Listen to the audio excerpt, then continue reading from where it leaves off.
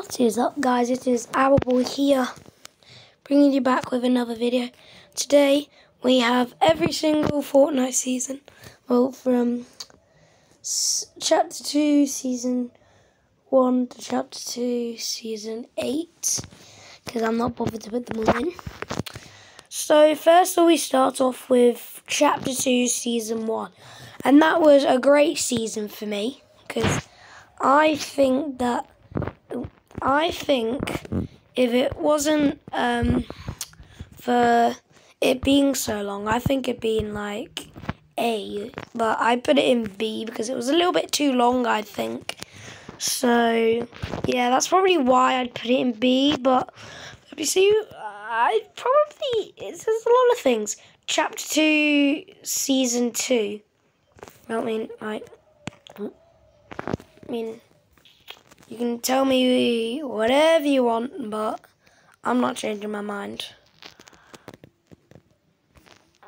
S tier, 100%. Such a good season. Chapter 2, Season 3. People hate this season, but I actually loved it a lot. So I'm going to put it in A tier, because I kind of liked it quite a lot. Chapter 2, Season 4. I'm sorry, but like, I really didn't like the Avengers season because I'm not really Avengers fan, so I'm gonna put it in B.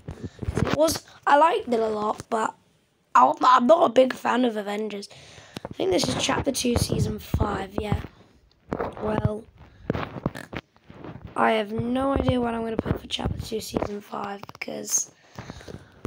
I barely played it because I didn't really like it that much. So I'll just put it D tier because I didn't play it that much. So then you have chapter, sorry, that's chapter 2, season 6. Chapter 2, season 5, I'll put D tier because I didn't play that. Chapter 2, season 6, I didn't play at all. I mean, I played it like twice, then I didn't play. Chapter 2, season 7, I like the mothership a lot, but like, wasn't that fun. Chapter 2, season 8, mm.